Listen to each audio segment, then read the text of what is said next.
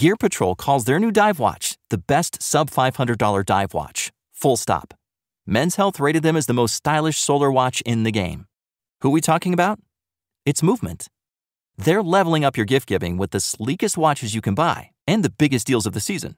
Shop 30 to 50% off Movement's innovative California clean watches, jewelry, and accessories with fast free shipping and returns now at MVMT.com. That's MVMT.com. At Sleep Outfitters Outlet, great sleep is a big deal. Save 40 to 60% every day on every Sealy, Stearns & Foster, and Tempur-Pedic. Queens as low as 249. Customer exchanges, closeouts, and floor samples. Inventory changes daily, so come in for your dream deal today. With no credit needed financing, expert advice, and up to 60% off retail, it's never been easier to get the sleep and savings you deserve. Go to sleepoutfittersoutlet.com for financing details and to find a store near you.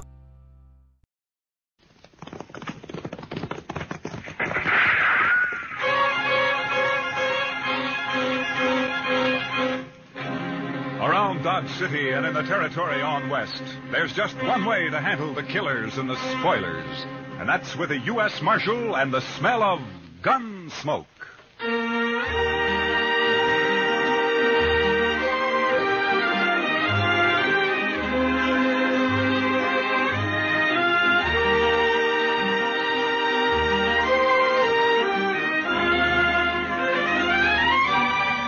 Gunsmoke, starring William Conrad. The transcribed story of the violence that moved west with young America. The story of a man who moved with it. Matt Dillon, United States Marshal.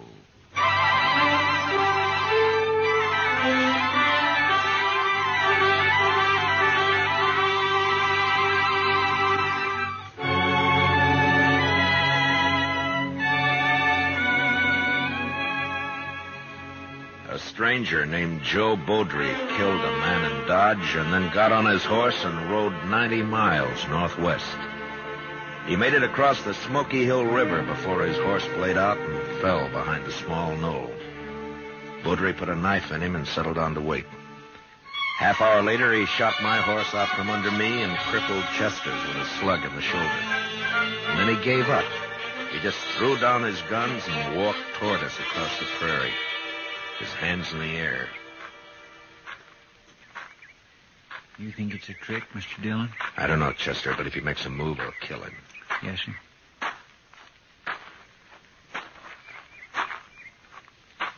That's far enough, Beaudry. Now turn around.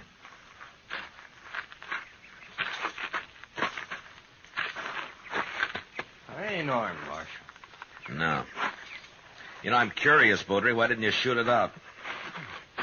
I don't want to kill anybody, Marshal. You killed a man in Dodge. He went for his gun. I had to. Some of the witnesses say he didn't. Oh, sure. Friends of his. I heard him. That's why I lit out. Man looks guilty when he runs. You should have stayed and faced it. Now, what there. kind of shake could I get in a strange town, Marshal? Everybody be against me. The law will protect you if you're innocent. You'll have to stand trial now anyway. Well, maybe I made a mistake, but I'm still alive. Yeah, and a long way from Dodge. Say, by gracious, that's right. Uh, how are we going to get back, Mr. Dillon? Well, we crossed the Overland Express route about five miles back. We'll just walk to the road and wait for a stage, I guess. Yeah, but the stage don't go up to Dodge from here, sir. Well, we'll take it into Fort Donner. Maybe the Army will lend us some horses there, and we can turn them back at Fort Dodge. Marshal, Yeah. well, I know you don't owe me no favors, Marshal, but I never been arrested before. I, I'd be kind of ashamed in front of everybody on stage. Well, that's tough, Beaudry. What do you expect me to do? Only a little thing, Marshal. Won't make any difference to you. Just don't let them know that you're taking me in, is all. All right, Beaudry. I guess it doesn't matter. Thanks. I'm not wearing a badge anyway. But you make one move, and I'll hog tie you, and you'll ride on the roof. Or you'll be dead. Well, it's a deal, Marshal. You'll get a fair trial, Beaudry. If you're innocent, you'll go free.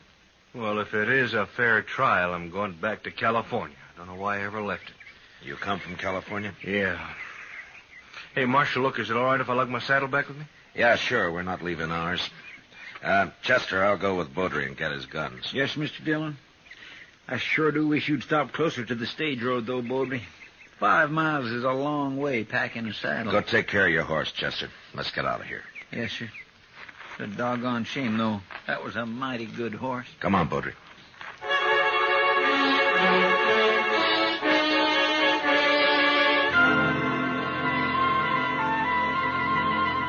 I sure hope the stage hasn't gone by already, Mr. Dillon. Why don't you get off your back and look down the road, Chester? Well, I declare. Looky yonder, it's a comin'. And it's painted bright red, too, Mr. Dillon. Hey, what if they don't stop for us, Marshal? Road agents don't usually carry their saddles. The driver will notice that if he's awake. Driving a six horse hitch ought to keep him awake. Yeah, but not sober.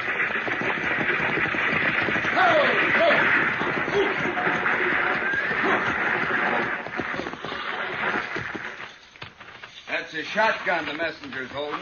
He doesn't need it. We want a ride, that's all. Where's your horses? Marshal, please, you remember what you said. We lost them. You don't look like greenhorns to me. It can happen to anyone. That's good. The one in the middle ain't even armed. Pick 'em up, Hank. All right, Berryman, it's your treasure box. How far are you going? Fort Downer, It's about 60 miles to Fort Downer. You're crowding us. That'll be 15 cents a mile. Fifteen cents.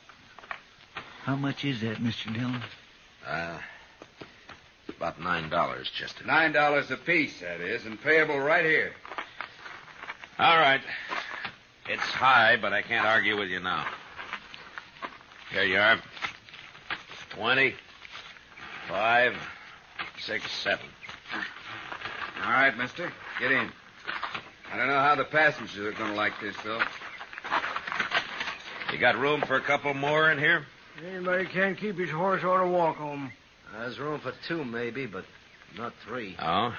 Take a look for yourself, mister. Yeah, I guess you're right. Uh, Chester? Oh, now, sir, I, I can't. I don't want Beaudry on top. You'll have to get up there, Chester. Well, I guess you're right, sir. But I think you fellows ought to charge us less if I can't ride inside. The Overland stage guarantees a ride, mister. Comforts the passengers' problem. Get in, Beaudry. Now get fixed somehow. You've held us up long enough. Give me a hand.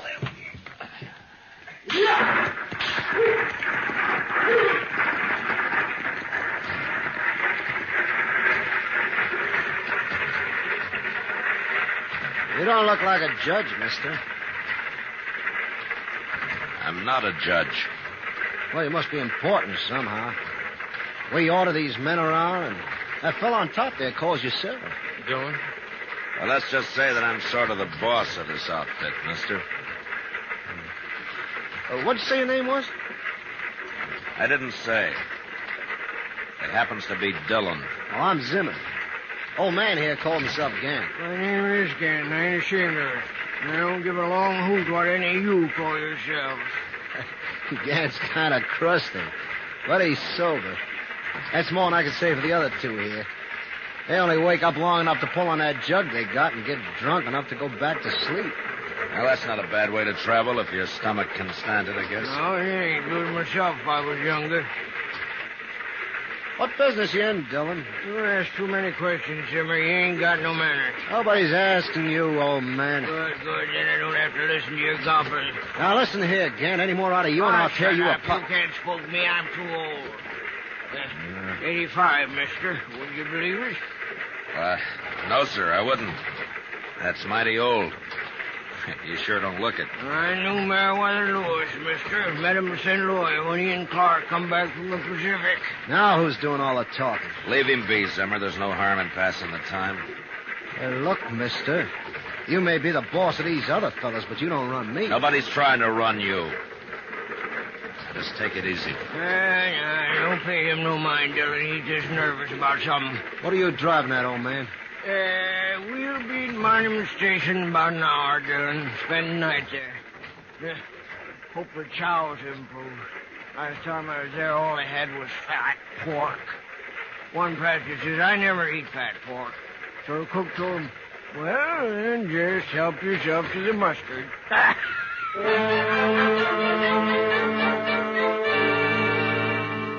Monument Station was a long, low hut made of sun-dried, mud-colored bricks, with a flat roof thatched and then sodded. The one building served as an eating room in the daytime and a bunkhouse at night. There wasn't much air inside, and after dinner, fat pork and mustard, Chester, Beaudry, and I went out to the corral for a smoke. My gracious alive, I hate to think of sleeping in there. All those men, why, a, a fellow could suffocate. And I'll bet that stock tender hasn't washed himself since he left home. He said he washed his blankets anyways, just this morning. Yeah, sure. You know how? He spreads it on an ant hill for a couple of hours. Oh, well, that settles it. I'm sleeping outside. All right, Chester. We just don't get too cozy. Half the night you're standing guard over Baudry here. I'll watch him the other half. Well, I'm not going to run away, Marshal. You ran once, Baudry. All right, I'll tell you something, and maybe you'll trust me a little then. Tell me what? Would you like to know who Zimmer is? Zimmer? He that real testy fella? I don't like him at all. He's always on the prod about something or other. Wait Why, a minute, little Chester. Bit ago, Wait a minute. What about Zimmer, Baudry? His real name is Chess Ryan. So? Well, at least that's the name was under his picture. Well, where was this picture, Baudry? Well, in California, tacked onto a pole. Go on. Well, I think the reward was five hundred dollars. Of course, I ain't certain. You're sure it was his picture? Yeah, then? Marshal, I'm sure. Heard a lot of talk about him in Sacramento just before I left. What kind of talk? Well, like one time he rode in a stagecoach as a passenger, and he was peaceful enough until some fellows on horses, they stopped that stage in a canyon somewheres, and then this here Chess Ryan, he pulled a gun on the other passengers and he disarmed them, whilst the boys outside unloaded the treasure box. They had an extra saddle horse along, and Ryan, he rode off with them. That's the way I heard it. Seems to me he went to a lot of trouble. Uh, sometimes the passengers give road agents as much fight as the driver and messenger, Chester. They feel safe because they're inside. Yeah, and that's what Chess Ryan figured. What, are you going to arrest him, Marshal? I can't arrest a man without cause, Baudry. You may be telling the truth, but I don't know that for sure. I can check on Zimmer when we get to Fort Donner, but all I can do to Lynn's keep an eye on Well, him. this stage will be robbed long before it gets to Fort Downer, Marshal. Yeah, maybe, but not without a fight. Thanks for telling me, Baudry, and for your sake, I hope it's the truth. If it isn't, you're going to be in more trouble than you are now. All right, keep an eye on him, Chester. I'll be back in a few minutes. Yes, sir.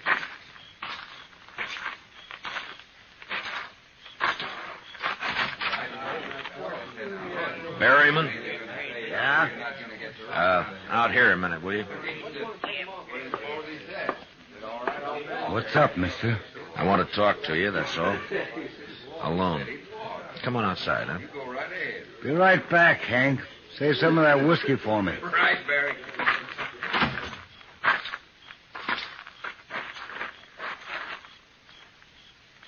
What's on your mind, mister? How long you been an express messenger, Berryman? Two years? Not that it's any business of yours. Did you run into any trouble in that time? Some? Why? I just want to know if you can handle yourself, that's all. You want to find out? Look, Berryman, you know my name. It's Dillon. I'm Matt Dillon. I'm the U.S. Marshal out of Dodge. Dillon. Dillon. Yeah, I think I remember seeing you there. Good. Now tell me this. You carrying much in that treasure box of yours? The messenger who brought it as far as Pond Creek said it was $50,000, unsigned currency mostly. Mm-hmm. Something up, Marshal? Well, maybe. Uh, tell me, what's the best place for a holdup between here and Fort Donner? Well, Willow Bend, I expect. Man on a horse could keep hidden there till we were right on top of him. All right, tell the driver to whip those horses through Willow Bend as fast as they'll go.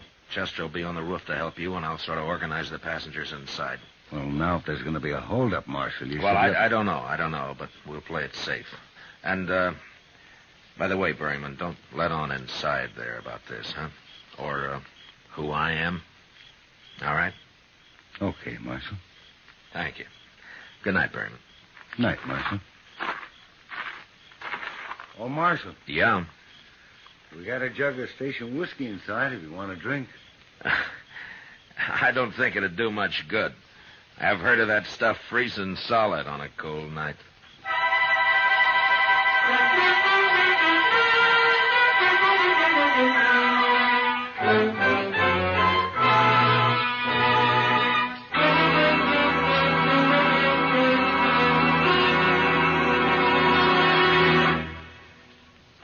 Return for the second act of Gunsmoke in just a moment.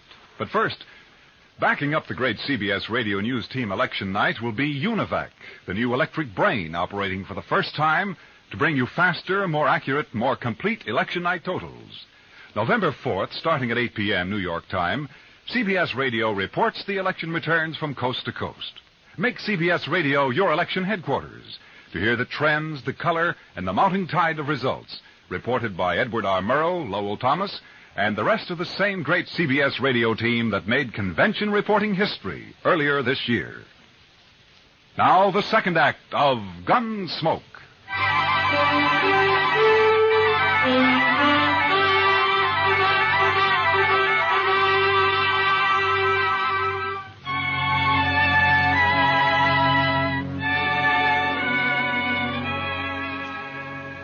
Next morning, just after sunup, the stage left Monument Station.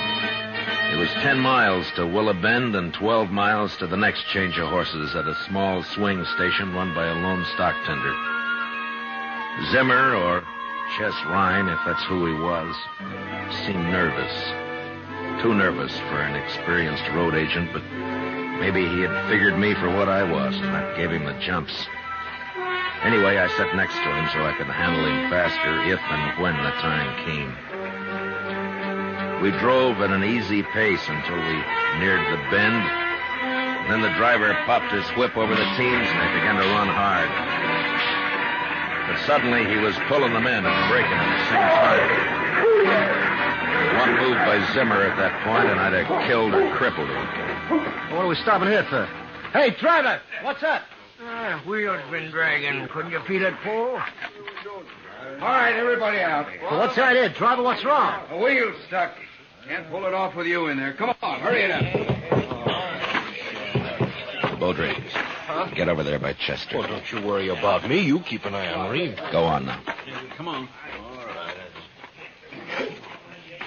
What do you think, Dillon? Well, they'd have jumped us by now, Berryman, while everybody was still inside. But keep your head up anyway. You watch the other side of the coach. I'll stay here. Okay. What do you mean it wasn't greased? Why not? It's sizzling hot. We Have to cool before we can take it off. That drunken fool at Monument didn't grease this one, that's all. Take a bullwhip to him when I get back there. Well, you can grease it now, can't you? I could, mister, if I had any grease. Well, you mean you haven't got any? Not unless I render you down and make some. Now get out of my way. Well, any more of that, and I'll. All right, all right, forget it. What are we going to do? How about grass, driver? Hey, that's an idea. Wrap it around the spindle and go it till it wears out. It won't last long, but we can keep putting it on till we get to the next station. Uh, we'll be all day stopping every half mile. Uh, why don't you greenhorns ask a real man how to fix it? All right, Pop. How are we going to fix it? Cheese? Cheese. Yes, cheese. Cheese. Cheese. One fine, too. Yeah, it might at that. I suppose you brought some cheese along just in case, Pop, huh? I brought it along to eat. You get it? But I'll let you have it. It's in my carpet bag.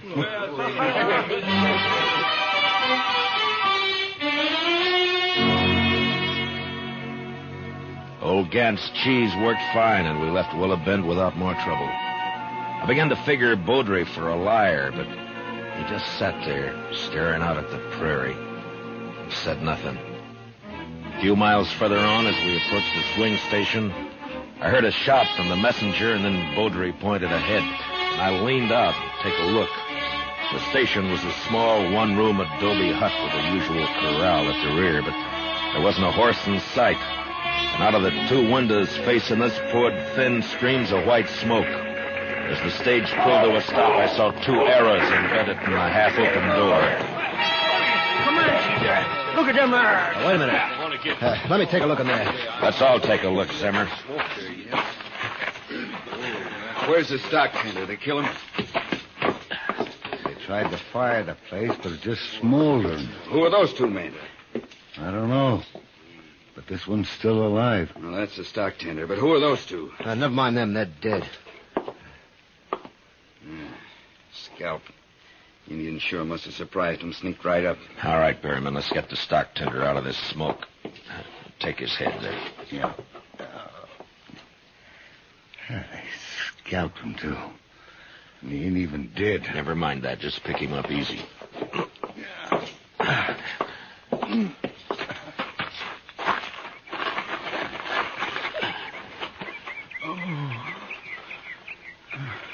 It's all right, fella.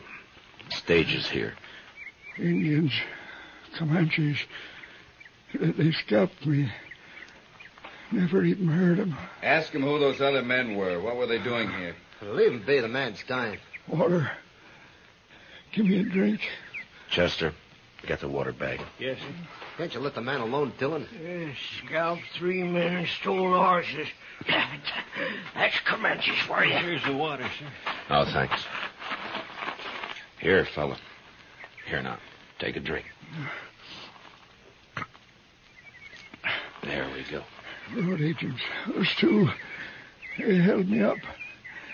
They said they'd hide till the horses were unhitched, and then, then hold up the stage. Had a partner on the stage to keep the passengers out of it. What was his name? Their partner, I mean. Uh, Put my head down, mister. It's. It's bubbling over. The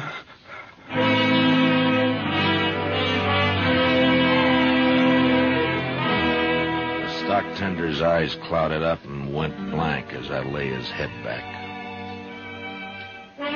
And then there was a scuffle behind me, and before anybody could move, Zimmer grabbed Gant and, using him as a shield, he walked backward toward the stage.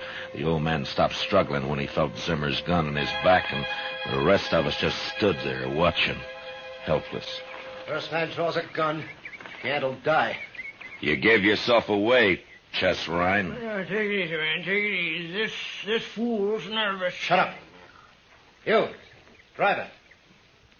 Lead those teams down the road a piece, and then come back here.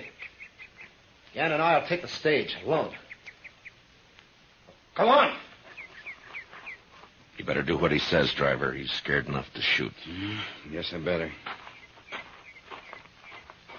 Come on. Oh. What are you stopping for? Take Take 'em 50 yards down there. Can't do it. That wheel's froze up again. He ain't going anywhere at that stage. Might as well give up right now, you young fool. I never did like you, Gant. Ryan, listen to me. You've made your play and you've lost. If you give up now, the charges will be attempted robbery. If you don't, they'll probably turn into murder. Who are you anyway, mister? I'm a U.S. Marshal. Well, you're not arresting nobody. Not unless you want Gant dead. You make a move and his blood'll be on your hands, Marshal. You can't hold him there forever, Ryan. The stage going west passes through sometime today. What'll you do then? He's right. That stage passes this station about noon. I drive it myself half the time. I'll think of something. Now, first, I, I want all you men to unload your weapons. Line up and throw them in a pile there. One at a time. But you even start to try anything, and I'll blow a hole in the old man. You think you would, Mr. Dillon? He's so nervous now, it's a wonder he doesn't do it by accident, Chester. I get going, don't stand there. One at a time now. And use two fingers to do it. All right, man, you better do as he says. Now? Go ahead. Easy. All right. Next man. Beaudry. Yeah? You're the only man who might There's stop mine. this. How? Pretend to join him. You trust me that much? I have to. Okay, All right, easy now. Two fingers. All right. Next man. Ryan. Hold it right there, Portry. Well, I'm not armed, Ryan. Look. But you know why? Too yellow, maybe. Oh, the marshal's got my gun. I'm under arrest. He's taking you in, is that it? He was, till I woke up just now. I, I, I killed a man in Dodge, Ryan. They want to hang me for it. Now, Baldry, we told you you'd get a fair trial. and Chester, what's more, shut up. yes, sir. Well, look, at you haven't got much chance alone, Ryan. But you and me, we can disarm these men, throw away their guns, and, and ride off on those horses without the coach. You do that, Beaudry, and I'll quit my job and run you down if I have to chase you all the way to Oregon. I couldn't show up in Dodge after this anyway. Well, I'll be watching for you, Marshal. It beats hanging. Well, how about it, Ryan? Make a fool out of Dillon, huh? I like that. I pick up a gun, Baudry, and get over here. I'm warning you, Baudry. Sorry. I figure I'll live longer this way, Marshal. There. Yeah, you hold the old man, Baudry. I want a free hand. Yeah. I'll kill Gant quicker than Ryan would. If any of you men try anything. You heard him? Now, let's get this over with. Fast. Ryan, I want to tell you something. That's far enough, Marshal. All that. That gun in your hand, Ryan, you better keep it on me. You even glance at Baudry, and I'll draw and kill you. What are you talking about? You shoot me, and Baudry will kill you from behind. What? That's right, Ryan. Gant, you walk back over towards the hut so he can see I'll let you go. He. He trick you, too. But I can still kill you, Marshal. Yeah, that's right, Ryan. You can still kill me. But I'm paid to die. I settled that in my mind when I took this job. It's only a matter of time. But what about you, Ryan? You ready to die? I. I. You can't do this. I'm doing it, Ryan. I'm doing it now. I'm going to walk right up to you, and you're going to give me that gun. Hey, stop, I'll Marshal. put a Don't. in your spine if you shoot, Ryan. Let me have the gun, Ryan. Okay. Huh. Easy, No. Ryan. Now! Did he hit you, Mr. Dillon? No, he waited a second too long. Worked, Marshal. By oh, you worked. Yeah. Yeah, you did fine, Baudry. I'm going to remember it. Yeah. Now give me back that gun. You still gonna take me in? Of course. No, that. That don't seem fair, Dillon. I'm only a marshal, Baudry, not a judge. Oh. I'm not sure I wouldn't rather die right here. Wait, Baudry. Now, I'll testify at your trial, and I promise you it'll be a fair one, but that's all. Now, give me the gun. You don't make it easy, Marshal. My job's to bring you in. Any way I can get you there. Dead or alive. That's right.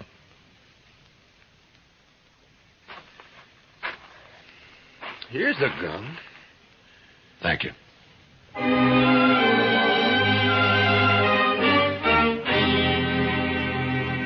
The next day, I turned Chess Ryan over to the Army at Fort Donner. The colonel wanted credit for sending him back to California, and I wanted to be rid of him. Took us three days to ride back to Dodge. On the way, we got to be real good friends with Joe Baudry. I wouldn't let him have his gun back. But even so, he managed to supply us with antelope steaks every morning. I made him borrow Chester's gun.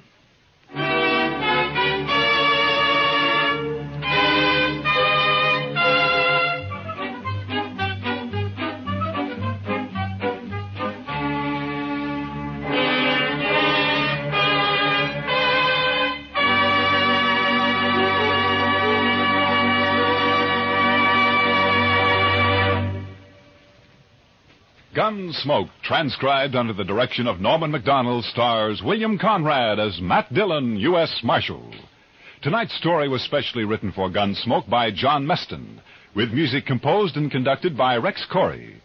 Featured in the cast were Lawrence Dobkin and Lou Krugman, with Vic Perrin, Junius Matthews, Jim Nusser, and Ralph Moody. Parley Baer is Chester. Gunsmoke is heard by our troops overseas through the facilities of the Armed Forces Radio Service. Join us again next week as Matt Dillon, U.S. Marshal, fights to bring law and order out of the wild violence of the West in Gunsmoke.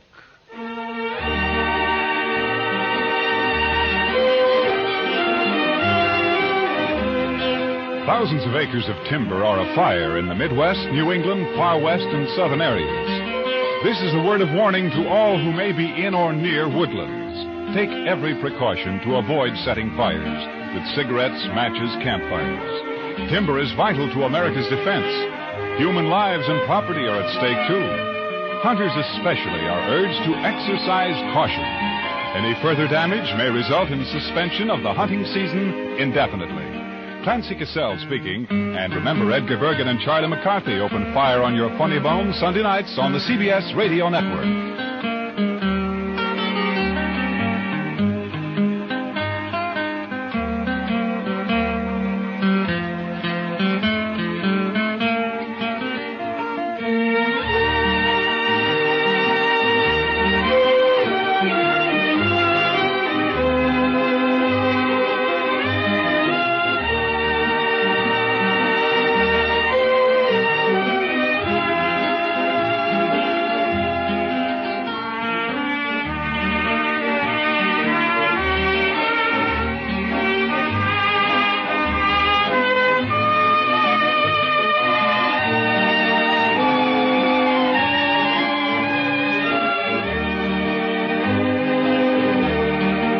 Gear Patrol calls their new dive watch the best sub $500 dive watch. Full stop.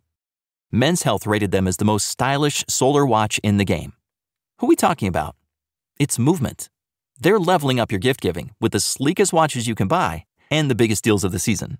From their innovative ceramic materials to sexy automatic divers, from ultra thin dress watches to solar powered statement pieces, and everything in between, Movement is making sure you're the good gifter this year for your family, your friends, or for yourself. And now you can take advantage of 30 to 50% off Movement's California clean watches, jewelry, and accessories to get them a gift they'll never forget. With fast free shipping and returns and amazing bang for your buck, Movement makes for a relaxed shopping experience. And with one size fits all watches, it's an easy, elegant gifting experience too. Shop 30 to 50% off now at MVMT.com. That's MVMT Sometimes during Christmas, something magical happens. Hey, Cricket customers! The Max with Ads plan is included with the Cricket $60 unlimited plan at no additional cost. And this holiday season, Max is the one to watch when you're feeling festive. Son of a nutcracker! Cozy up to all the holiday classics like Elf, 8 Bit Christmas, and the Harry Potter 8 film collection. Just log in with your Cricket username and password to experience Max on all your favorite devices. Phone plan streams and standard definition programming subject to change. Fees, terms, and restrictions apply. See cricketwireless.com for details.